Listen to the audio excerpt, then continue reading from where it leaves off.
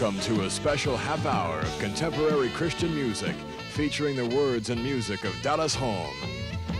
With segments from Knott's Berry Farm, a special TBN soundstage, the recording studio, and a concert performance. I got love, love, love in my heart.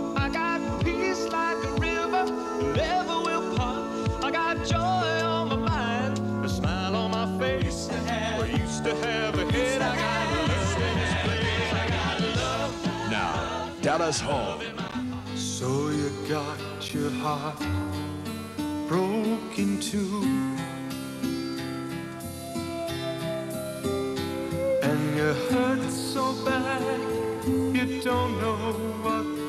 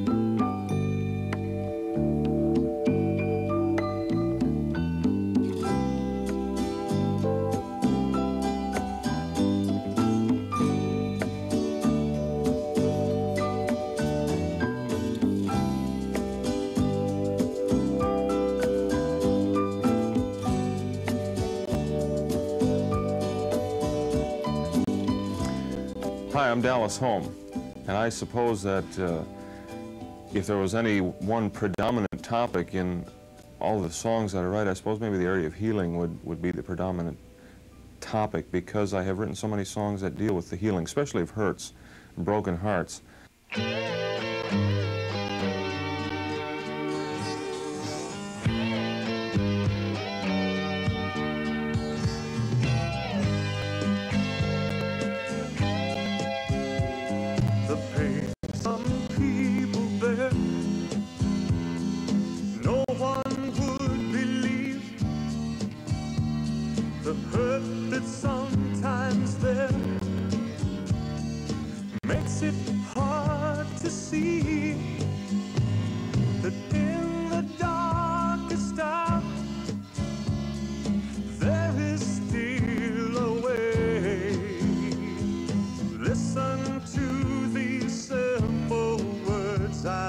I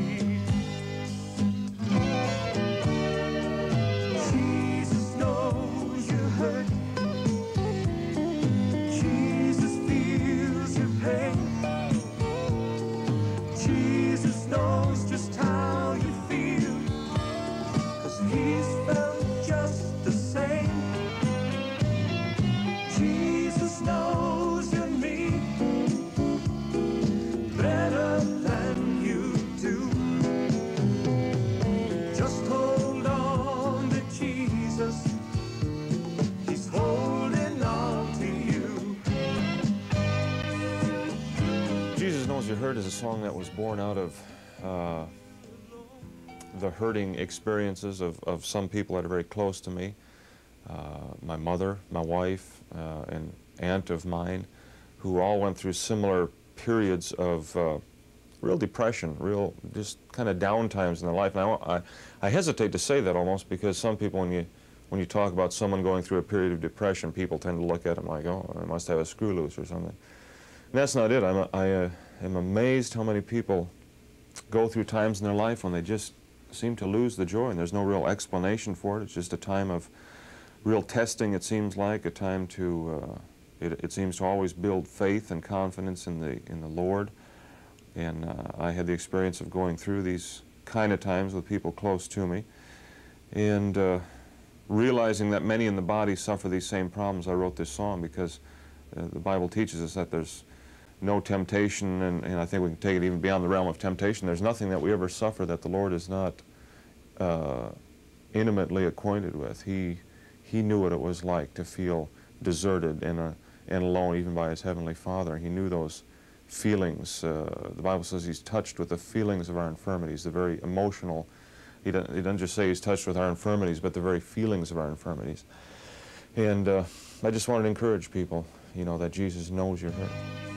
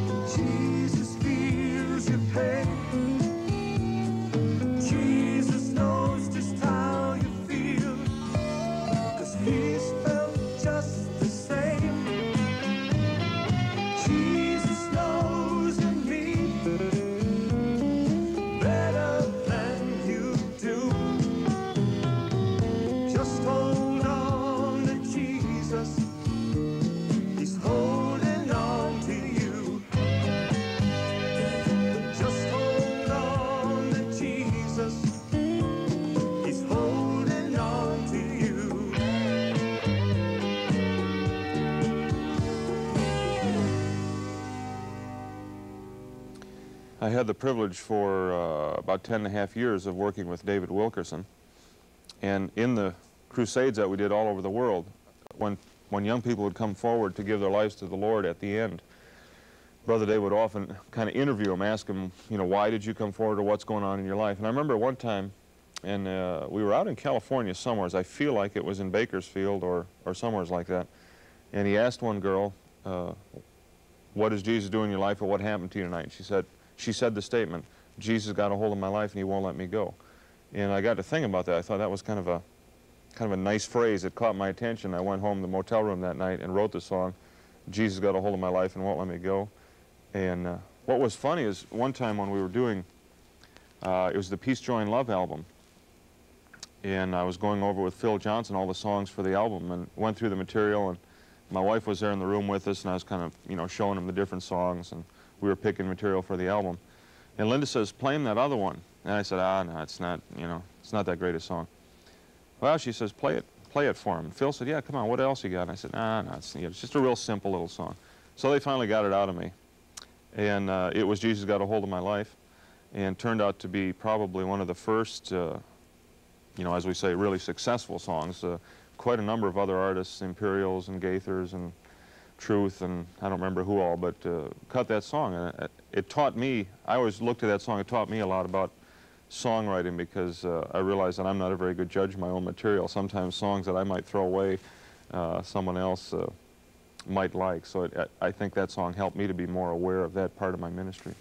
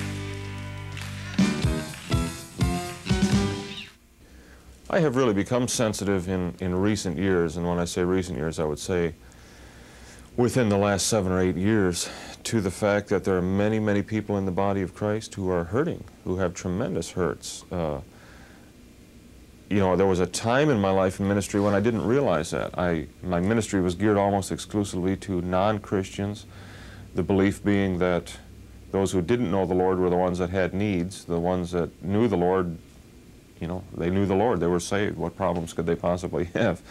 But as I grew and matured in the Lord and, and went through some struggles in my own life and began to become much more aware of the needs of others in the body, some close to me, then I became sensitive to the fact that surely Christians, all Christians, must at some point suffer. Uh, the Bible talks about suffering. There's a, you know, school of thought going around today that would have us believe that if you're a Christian, you're not going to suffer, you're not going to have any problems. But I, I don't subscribe to that. Uh, uh, Jesus suffered. The Bible says he learned obedience through the things he suffered.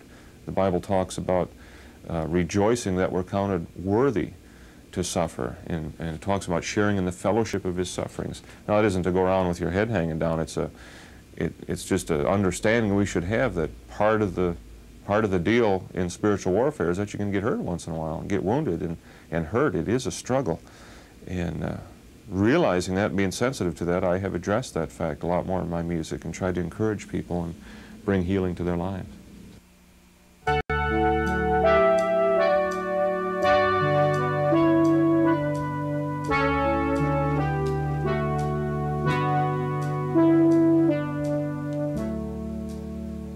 Here comes a rain, just a steady pour,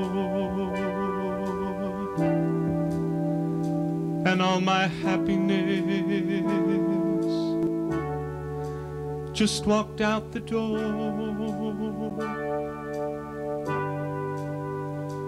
And I don't think I'll ever smile again. I don't see how. I don't know when. My heart is broke. I've never felt such pain. And I don't think I'll ever be the same. Well, they tell me, Lord,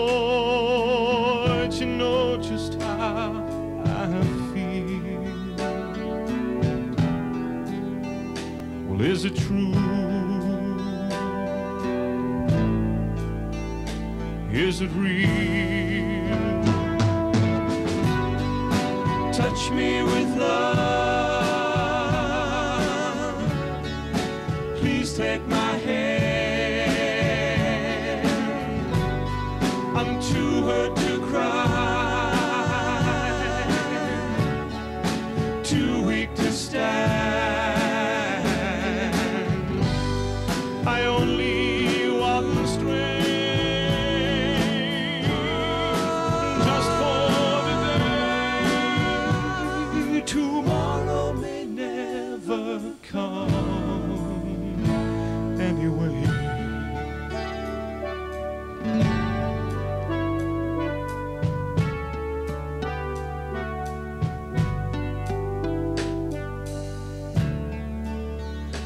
That I see?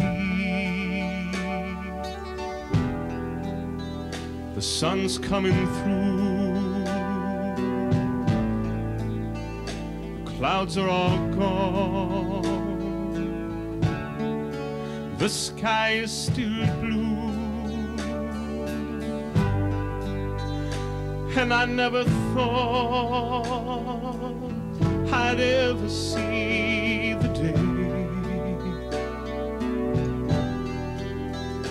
What do you know?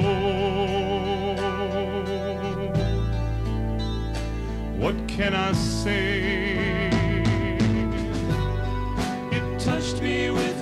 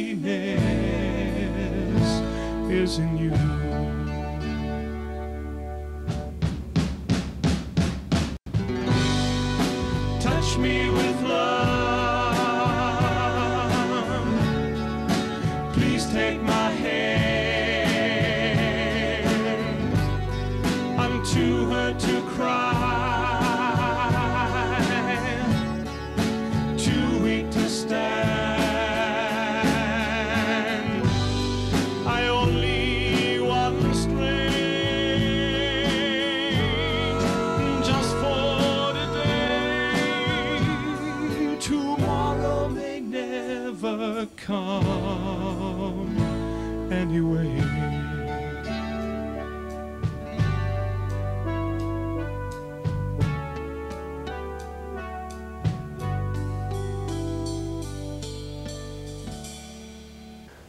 About uh, seven years ago, we did an entire album.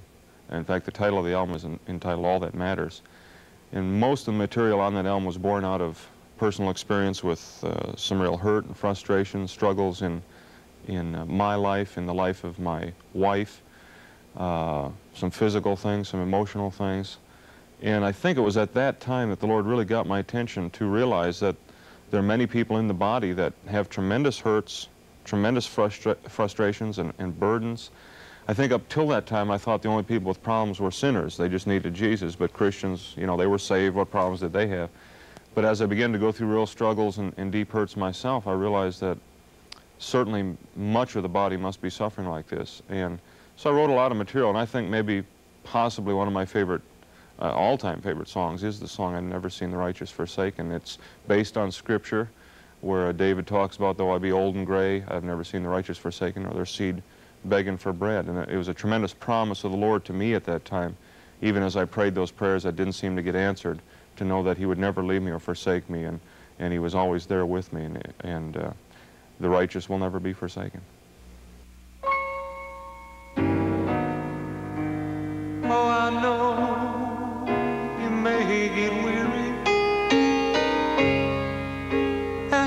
times they rough. You may not have all you want, but you'll always have enough.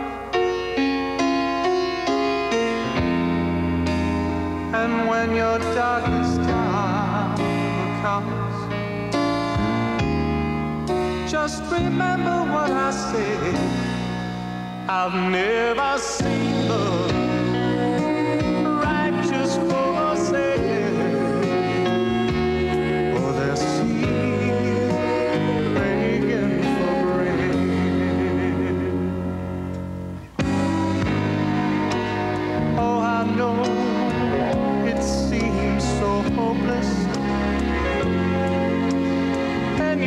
know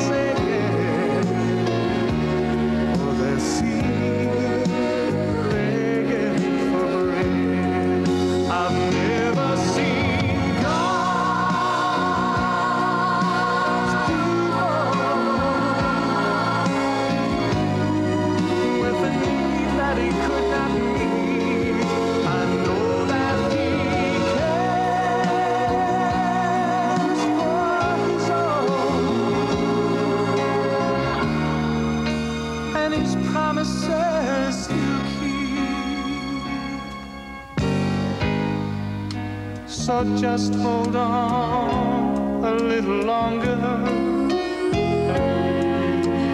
Answers soon to come.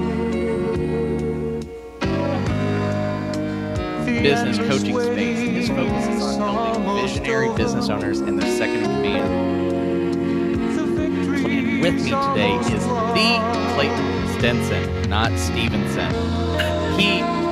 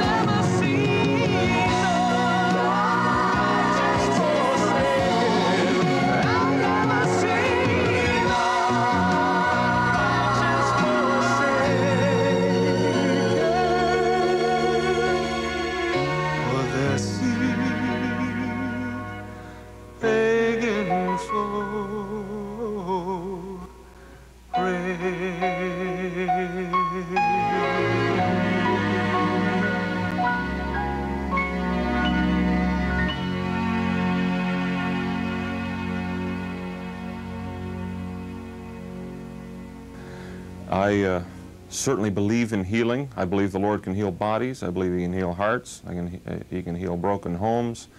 There are some today who say, no, He doesn't do that anymore. But uh, my Bible says He changes not. He's the same yesterday, today, and forever. And uh, He has worked healing works in my life. He's working a, a healing work in my life right now. And uh, because of that, because of what I know in my own life and the experience of others and in Scripture, I know that He can work and will work that same healing in your life.